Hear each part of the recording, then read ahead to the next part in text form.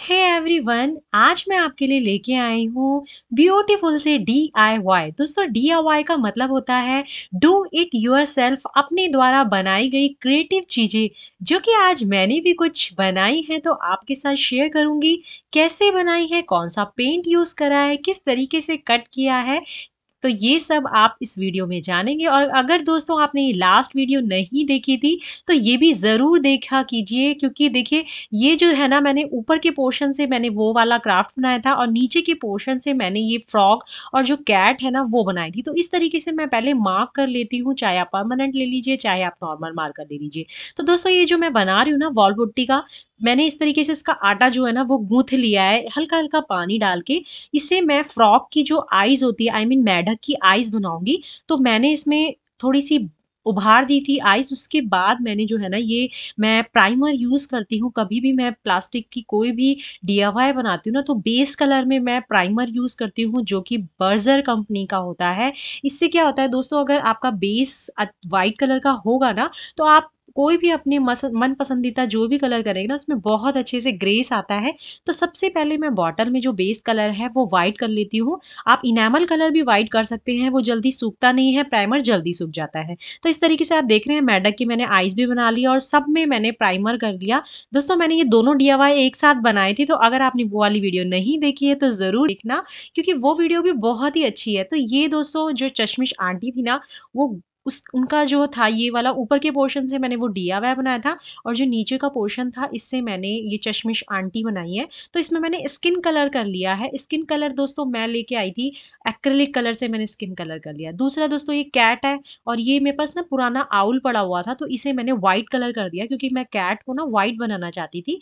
Third दोस्तों मैंने ये जो बटरफ्लाई थी ना, इसको मैंने येलो कलर कर दिया है क्योंकि बटरफ्लाई येलो ही अच्छी लगती है। तो इसमें मैं येलो और ब्लैक का कॉम्बिनेशन करके ना इसके फर वगैरह सब बनाए थे मैंने। तो दोस्तों, ये फ्रॉग है। अब इसमें मेहंदी कलर बनाना था तो मेरे पास येलो कलर था और हल्का सा मैंने इसमें ब्लैक कलर मिक्स करा है। दोस्तों, ये सब जो मैं कलर कर रही हूँ ना यूज़, ये है इनेमल कलर बर्जर कंपनी के, जो कि हम अपने डोर और खिड़की वगैरह में करते हैं ना यूज़, ये वही कलर है। दोस्तों, मैं बार बार कहती हूँ कि मैं ज़्यादातर इनेमल कलर ही यूज़ करती हूँ। तो दोस्तों, ये मेहंदी कलर बन गया मेरा। थोड़ा सा मैंने इसमें हल्का हल्का ब्लैक ब्लैक कलर मिक्स किया।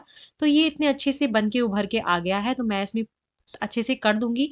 अगर दोस्तों आप आईज में नहीं करना चाहते तो मत करिएगा, क्योंकि आईज ना व्हाइट ही रहनी थी, मुझसे गलती से इसमें मेहंदी कलर हो गया। तो ये है इसके फर, जो इसके पंख होते हैं ना, वो है। तो पंख भी मैंने प्लास्टिक की बॉटल से ही बनाए थे तो इस तरीके से मैंने आईज बना लिए। पहले मैं ड्रॉ कर लेती हूँ। ये स्माइल और ये जो आईज है, ये मैंने एक्रेलिक कलर से बनाई है। एक्रेलिक कलर आपको स्टेशनरी की शॉप से इजीली मिल जाएँगे या आप ऑनलाइन भी परचेज कर सकते हैं।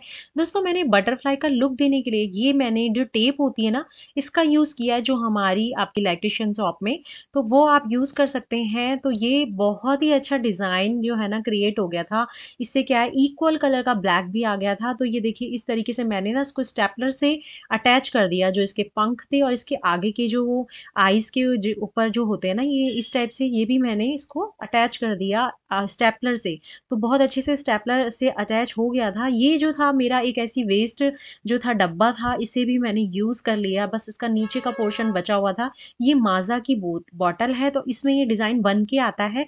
बस मैंने इसको थोड़ा सा हाईलाइट कर दिया येलो कलर करके। तो इस तरीके से आप यूज़ कर सकते हैं। अब मैंने जो ये मेरा फ्रॉक था आई I मीन mean जो मैडक था ना, उसकी आइज़ को मैंने अच्छे अच्छे से उसको हाईलाइट कर दिया, ये देखिए, ये जो कलर है, ये मैं एक्रेलिक कलर यूज़ कर रही हूँ, क्योंकि एक्रेलिक कलर जो है ना, वो फैलते नहीं है। मैं बार बार कहती हूँ बेस कलर करिए इनेमल कलर कीजिए, जो फीचर्स बनाते हैं, वो हमेशा एक्रेलिक कलर से कीजिए। तो दोस्तों, कितना प्यारा लग रहा है ना मतलब बिल्कुल फ्रॉग वाली ही फीलिंग आई थी मुझे इसको बना के, और मुझे बहुत ही प्यारा लगा।